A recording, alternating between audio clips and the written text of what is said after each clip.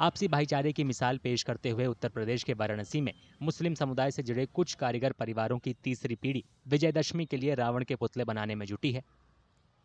इन कारीगरों का कहना है कि वे अपने पुरखों की शुरू की गई उस परंपरा को बचा रही हैं जो गंगा जमुना तहजीब की मिसाल है।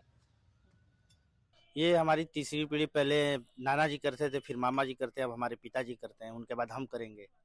तो किस तरीके से मतलब मन में रहता है कि एक गंगा जमुनी तहजीब हिंदू मुस्लिम भाईचारा का जो एकता का मिसाल है वो कैसे पेश करते हैं आप लोग? हिंदू मुस्लिम में भाईचारा में एकता का एक मिसाल है ये पूरी देश जानती है बस उसी आधार पे हम लोग अपना काम करते हैं। सर काशी गंगा जमुनी तहजीब की एक मिसाल पेश करती है। हमेशा से पूरे देश में काशी अपने उपस्थित है। आप लोग किस तरीके से उस मिसाल को पेश करते हैं? क्या कहना चाहेंगे? हम यही कहना चाहेंगे कोई भेदभाव नहीं है इसीलिए हम लोग जुड़े जुड़े हैं इससे।